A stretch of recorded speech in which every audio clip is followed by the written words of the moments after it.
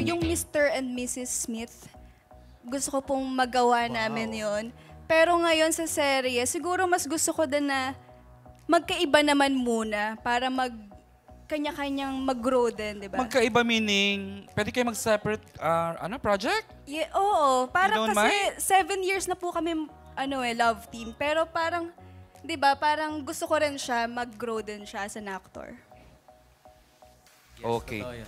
Ah, the BL question is for Loisa, no? Ronnie, aminin mo na, para malaman nila exactly what gusto mong maging next project mo, Ronnie. Alam ko to eh. Ako Ah, gusto ko talagang mag-action kaya yung pira-piraso parang ngayon yung naging ano ko eh, ah, training ko. So Oo, half of the season, binigyan ka Yes, talaga ng mga oo, action oo. scenes, ano? Opo. So yun, kaya if ever man, tama yung sinabi ni Lois na pag-usapan namin yun na pag kami offer sa yung magandang oportunidad, ako din gano'n, edi pwede kang magsolo ako. Pwede din akong humiwalay na muna.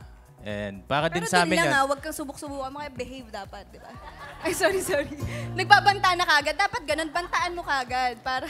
Ayun, pero sobrang thank you po sa Dreamscape dahil binig gustong gusto ko talaga yung role na ganun eh, na ipagsapakan ka, na ipagbarilan ka. So binigay nila sa akin kaya thank you po. Thank you. I think um, mag-a-agree ang lahat. Kapag may group chat na kayo at na-update yon weekly, ibig sabihin malalim na ang samahan ninyo. Daily nga eh. Daily nga eh. Yun, yun. Um, May chismisan din, ah, iba na. po, Siyempre. May mga chismis din. Siyempre. Meron po. doon nabubuhay. Na joke lang. Updated, no, ah. update sa daily life namin. Yung parang kahit hindi naman namin ina-ask kung anong, walang, walang nangangamusta, pero Send ang magsasari, picture, sariling share-sharean sendan na lang ng update. Kung Parang nasaan kayo ka rin pala kami, no? May sariling group chat kung ano-anong Totoo, chismisan. papakita ko lang sa kanila, nanonood ako ng ganito, ng Kain movie. sa- oh. ng- Ini-screen Ah, eh. grab. Oo. Parang jowa, magjo-jowa yung update, no? Mas updated pa nga ang group chat natin kesa sa mga jowa. Charlie, share.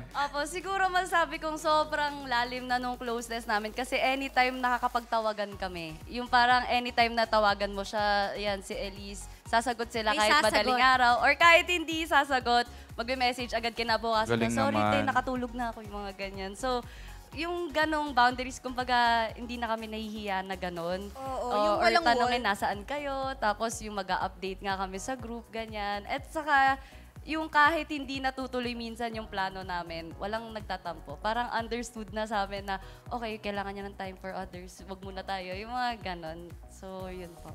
Okay. Sa Loy. akin, nasabi kong malalim kasi umabot na kami na yung lahat kaya namin sabihin sa isa't isa, yung no filter talaga. Kasi di ba hindi mo kaya sabihin yun sa mga hindi mo naman ganun ka-close. Tama na. Kahit yung mga love problems, gano'n. Mga ganyan. Parang totoo. wala naman yung si mga Loisa advice, yung masakit man, pero yun ang totoo. Di ba? Kaya mong sabihin ng ganun. Alexa. Um, actually, may nagtanong, tinanong po ako kanina, sabi, ano daw yung pirasong nabuo sa akin for last year or this year. Tapos sabi ko sila, hala, I'm gonna cry.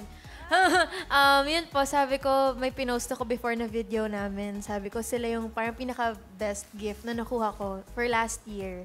And yung parang greatest takeaway ko din dito. So, yun yung pirasong nabuo sa akin, yung friendship namin.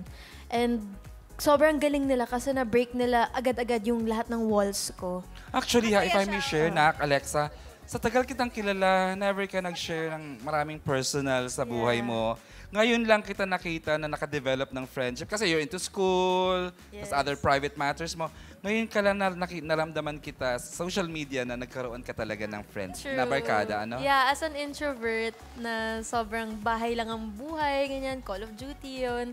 So, ang galing kasi they understand that. And because they understand that, they know na si Alexa kailangan niya ng me time, tapos andito lang kami to support. So, the best. Oh. Ayan, cheers to friendship. For Ayan. keeps. Yeah, for keeps lang. For keeps.